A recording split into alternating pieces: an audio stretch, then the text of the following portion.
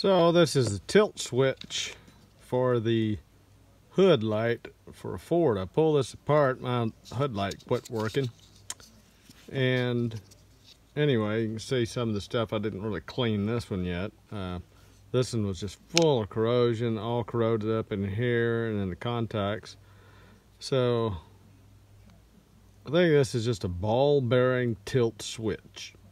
So this piece and this piece is just crimped together. And this just acts as a spring for contact.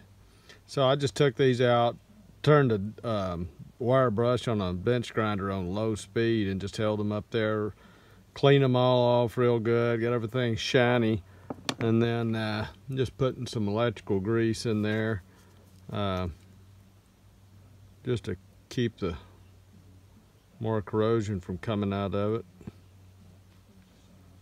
So I can't find these switches anywhere except LMC and they want 40 something dollars for this switch.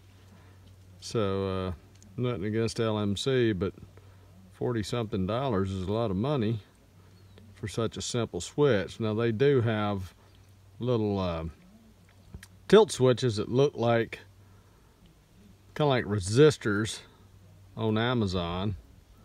Uh, guys are saying you could do, but just look up uh, the word tilt switch, T-I-L-T, and you'll see what I'm talking about. So anyway, I'm just gonna take and fill this thing up with this electrical grease here. Try to keep crud from getting out of it, or get in it, whatever. And uh, I would think that'll probably do it. So we'll see. So I already tested this off camera. So basically, got my ohm meter set up.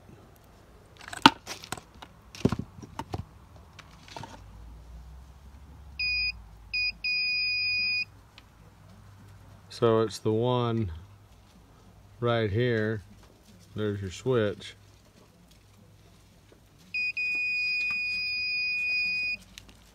Turns on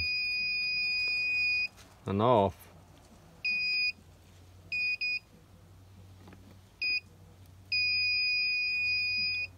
And that's all there is to it. So hope that saves somebody some money here.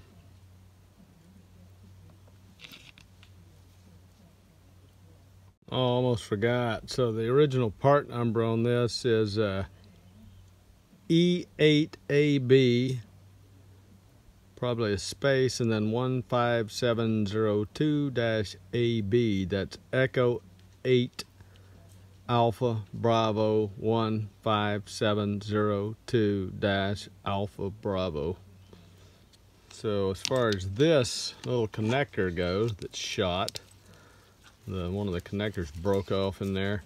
The only thing I can see on this says Ford and then EPC Echo Patricia Charlie and it looks like the number 32.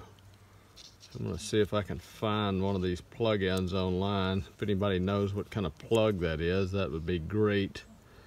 So this plugs into here. And then, uh, of course, the other end plugs into your wiring harness on the driver's side uh, by the hood hinge there.